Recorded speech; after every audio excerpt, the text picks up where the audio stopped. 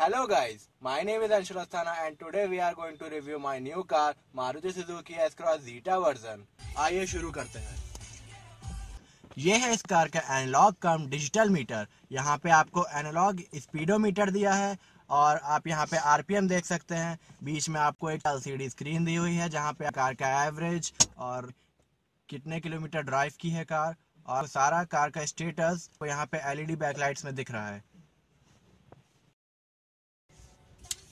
तो इसके बाद हम लोग देखते हैं स्टेयरिंग पे आपको ये बटन्स मिल रहे हैं। जैसा कि आप देख सकते हैं क्रूज कंट्रोल के लिए एक बटन दिया है और उसको कैंसिल करने के लिए एक बटन दिया। क्रूज कंट्रोल ऑन कर सकते हैं ऑफ़ कर सकते हैं। यहाँ पे वॉल्यूम कंट्रोल के लिए म्यूट दिया हुआ है। यहाँ पे आप मोड चेंज कर सकते हैं, जैसे कि aux bluetooth SD card USB and iPod connect कर सकते हैं। यहाँ पे वॉल्यूम कंट्रोल दिया है इंक्रीज करिए वॉल्यूम या डिक्रीज करिए। और ऑप्शन सेलेक्ट करने के लिए बटन दिया है। लेकिन जो खास फीचर आपको स्टेयरिंग में मिलेगा वो है यहाँ पे ये तीन बटन पहला बटन है वॉइस कमांड कंट्रोल के लिए। यहाँ पे इस बटन दबा के वॉइस कंट्रोल कमांड ऑन कर सकते हैं। मैं आपको दिखा देता हूँ। मैं ये बटन ऑन करता हूँ। कमांड तो यहाँ पे आप कोई भी कमांड दे सकते हैं चाहे कॉल करें चाहे मीडिया ओपन करें या नेविगेशन ऑन करें। और आपको यहाँ पे और बटन दिए हैं। कॉल रिसीव करने का कॉल एंड करने का। कार चलाते चलाते ही कॉल कर सकते हैं नेविगेशन कर सकते हैं।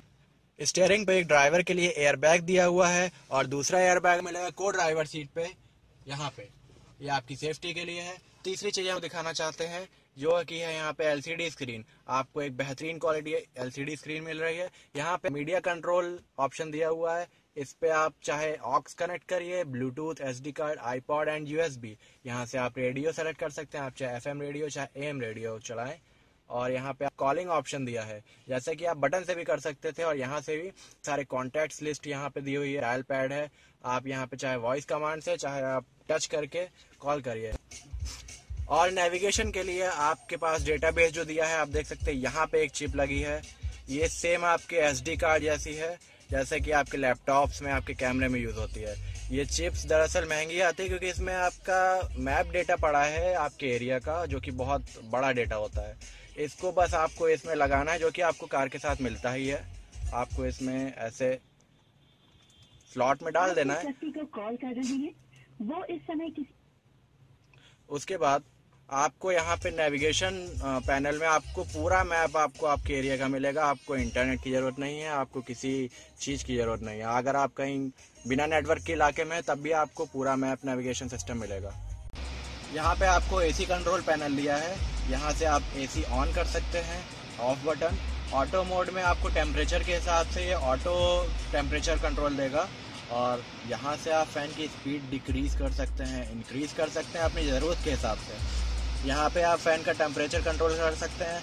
कोल्ड चाहिए या तो हॉट चाहिए, आप अपने हिसाब से कंट्रोल करिए।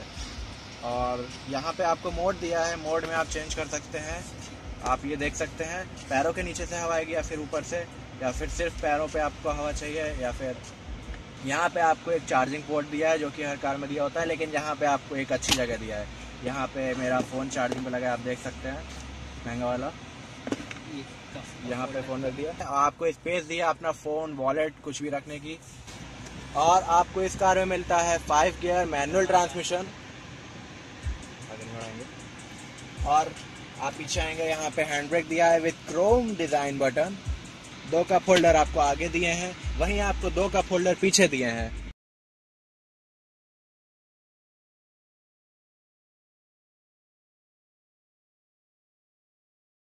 यहाँ पे आपको आर्म रेस्ट दिया हुआ है। यहाँ पे आप आराम से गाड़ी चलाते टाइम हाथ रखें और को ड्राइवर भी सकता है। इसको आप पीछे करेंगे और ऐसे उठाएँगे। तो आप देख सकते हैं यहाँ पे आपको ऑक्स केबल और एक पेन ड्राइव कनेक्ट करने की सुविधा दी हुई है। यहाँ पे आप कोई भी सामान रख सकते हैं। आप चाहे पानी की बोतल रखिए, चाहे अपने फ़ोन रखिए।